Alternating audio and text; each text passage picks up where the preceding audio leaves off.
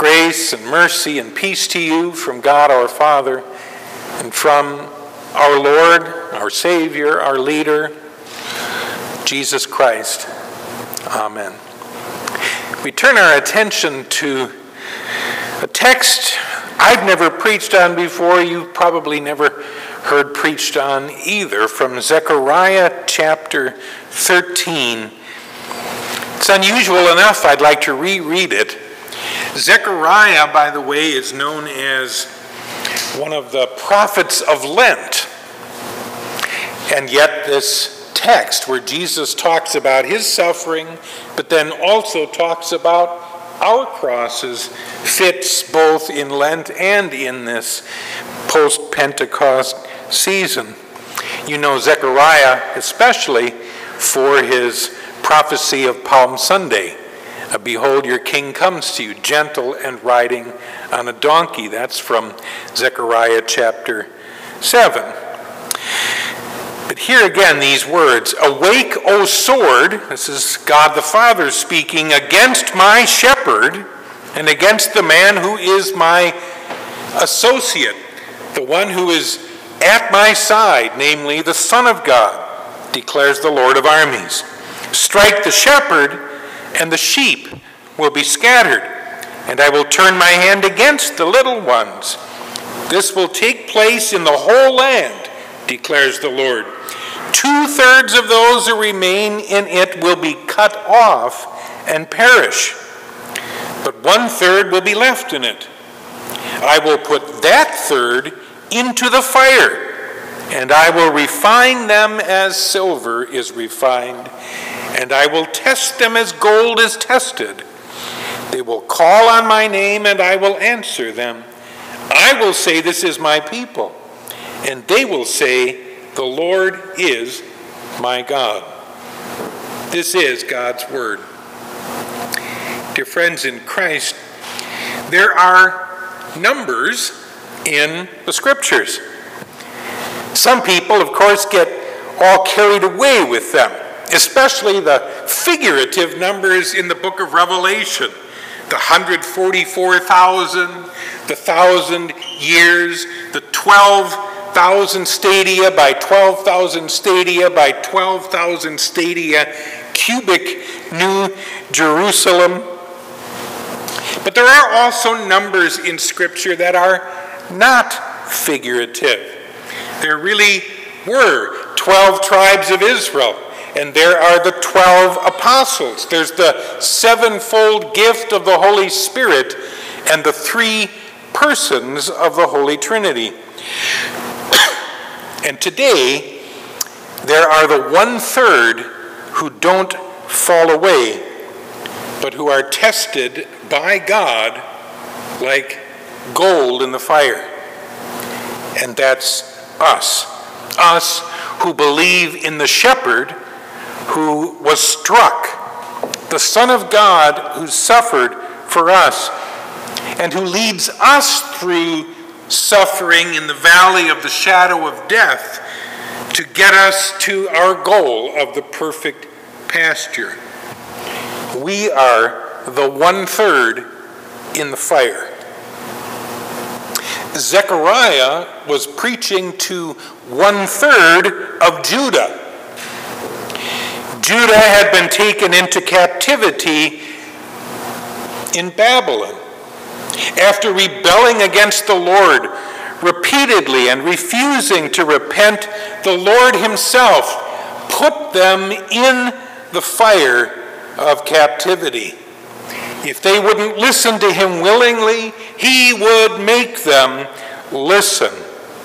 And the purifying fire of captivity had its desired effect. In the latter days of Judah before the exile, we hear of almost no one who stood up to confess the true faith. On the other hand, already from the early days in captivity, heroes of faith once again arise. You have the three men Shadrach, Meshach, and Abednego, three fine young healthy, strong, wise Jewish young men who were taken into captivity and put in the service of King Nebuchadnezzar of Babylon.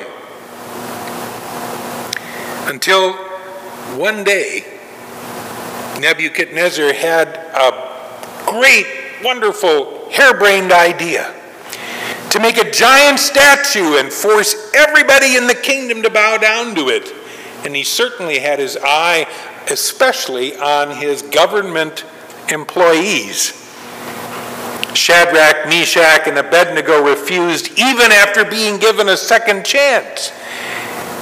And then they were thrown into the superheated fiery furnace, where instead of dying, they walked around peacefully with a fourth who seemed like a son of God.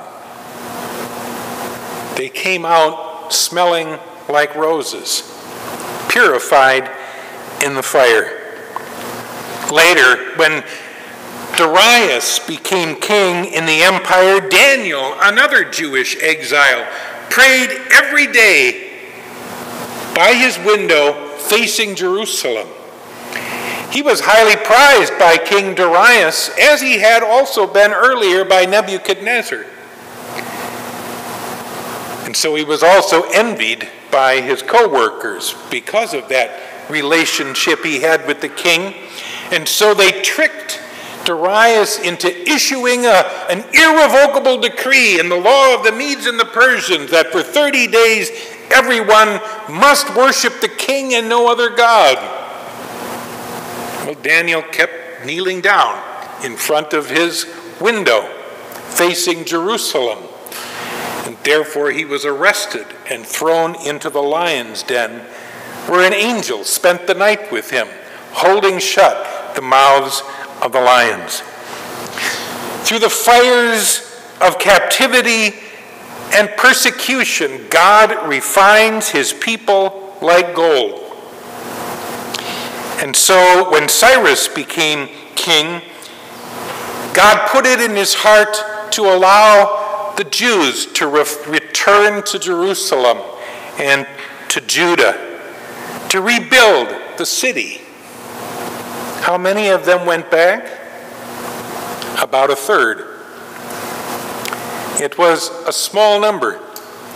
And they had enemies who sought tirelessly to prevent them from rebuilding the temple and the walls of Jerusalem. So the Lord sent the prophets, Zechariah and Haggai, to preach faith and courage into this small remnant's hearts, and they did.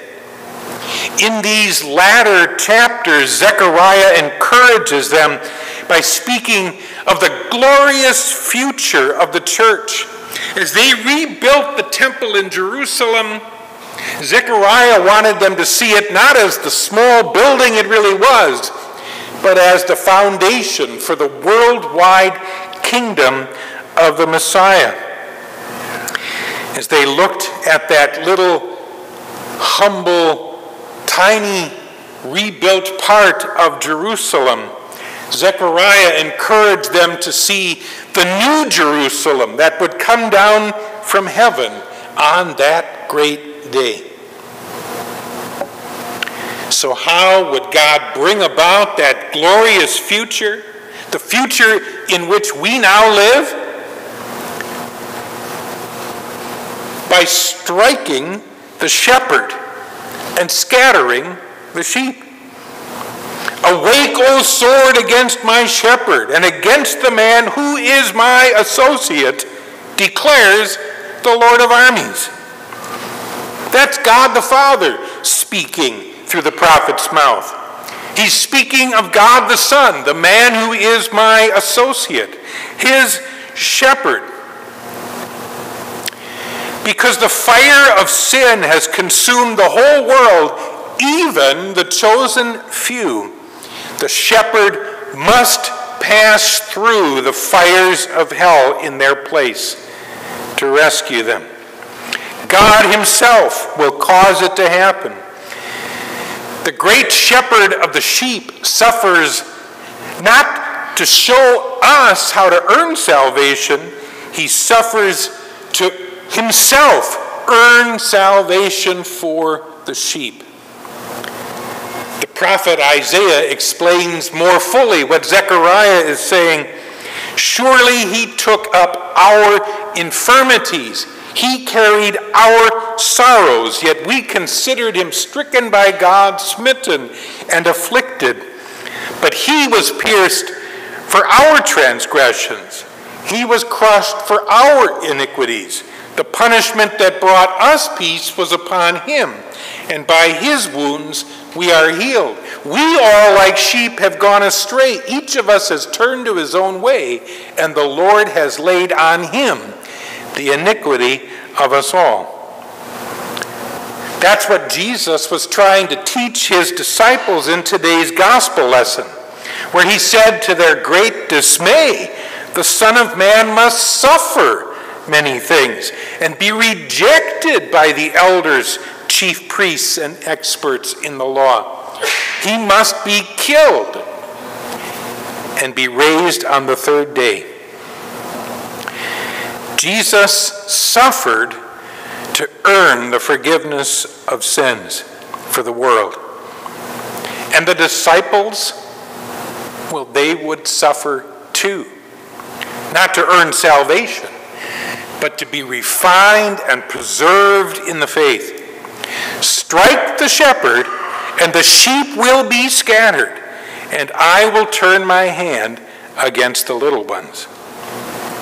Jesus actually quotes this passage from Zechariah to his disciples on Maundy Thursday, just before he heads to the Garden of Gethsemane. Then Jesus said to them, Tonight all of you will fall away because of me, for it is written, I will strike the shepherd, and the sheep of the flock will be scattered. But after I have risen, I will go ahead of you into Galilee. When he, the shepherd, was arrested, the sheep, his disciples, all ran away. But as you know, he reassembled them after the resurrection, revived their faith, and sent them out refined and strengthened. From now on, they would be as courageous as Shadrach, Meshach, Abednego, and Daniel had been before them. And thus began the New Testament church, built on the foundation of Jesus, the shepherd's death. The rest, as they say, is history. And we have been gathered into the church and become the good shepherd's sheep. That being the case, do we think it will be any different for us? That we'll float through life on beds of roses? Not if we want to safely make it to the Holy Land God prepared for us. Zechariah is speaking of us then when he continues. Two thirds of those who remain in it will be cut off and perish, but one third will be left in it. I will put that third into the fire, and I will refine them as silver is refined, and I will test them as gold is tested. They will call on my name and I will answer them. I will say, This is my people, and they will say, The Lord is my God. It shouldn't surprise us that if the shepherd suffered for us, that we sheep must also go through suffering. God uses that fire to separate the sheep from the goats. The Bible tells us that those who trust in Jesus, those who trust in Jesus will be a minority. A minority in the world, but even a minority within the pale of the church. Two thirds of those who remain in it will be cut off. God prunes his church through suffering. But God also uses suffering to refine his elect like silver and gold. Jesus asks us not only to tolerate it, but to look at it as a blessing, a part of being his dearly beloved disciples. That's what he told the disciples in our gospel lesson. The Son of Man must suffer and be killed and rise again on the third day. If anyone wants to come after me, let him deny himself and take up his cross daily and follow me. For whoever wants to save his life will lose it. But whoever loses his life for my sake will save it. Losing our life, that is, putting all our hope in the life to come rather than the pleasures that this world promises us, gives us Christians an attitude so completely different to the way others think. While the world laughs, we Christians mourn. We mourn our sins. We mourn the Savior's death, which was caused by our sins. And we mourn for our world. Just a couple paragraphs Earlier in chapter 12, Zechariah wrote, I will pour out on the house of David and on the inhabitants of Jerusalem the spirit of grace who pleads for mercy. Then they will look at me, the one they have pierced. They will mourn for him as one mourns for an only child. They will grieve bitterly for him as one grieves over his firstborn. The land will mourn each family by itself. You can't repent for another.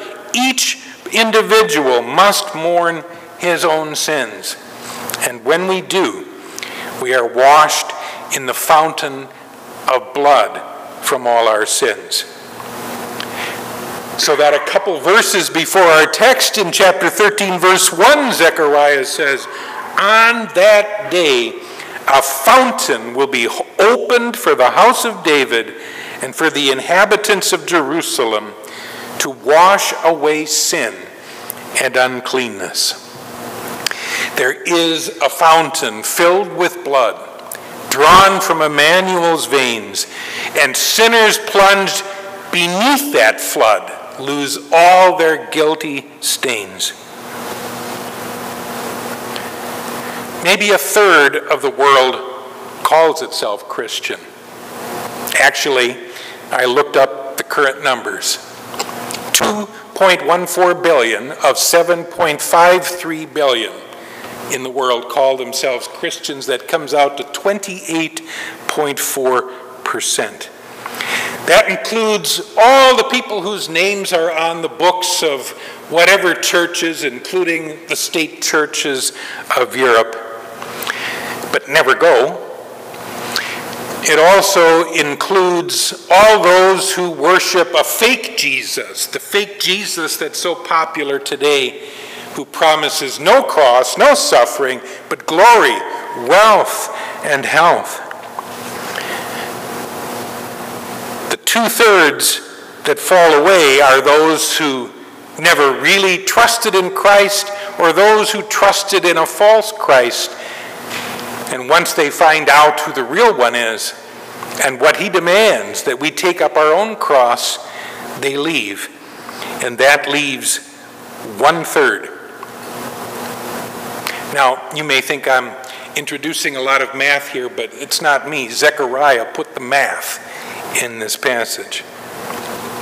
We are the one third of the one third. We who believe in the real Jesus the one who suffered for us and promised us a cross. We lose our life in this world in order to save it for the next. Or as Zechariah described, our souls get purified through the fire.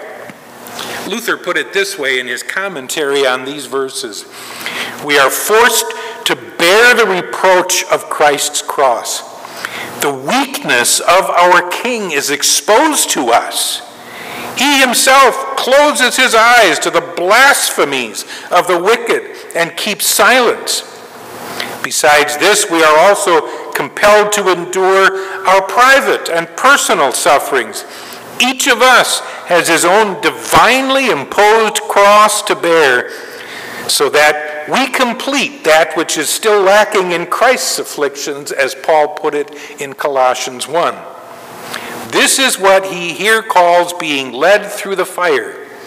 But these, he says, take place to test you, so that you are proved by the cross, as silver is proved by the fire. Zechariah's prophecy culminates in the final chapter, chapter 14, with this promise, both for the workmen rebuilding the temple and for us awaiting the new temple. Then the Lord my God will come, and all the holy ones with him. On that day, living water shall flow out from Jerusalem, and the Lord will be king over all the earth. And that's what makes it all worthwhile. God has made you part of the one third of the one third. The one third in the fire, like Shadrach, Meshach, and Abednego.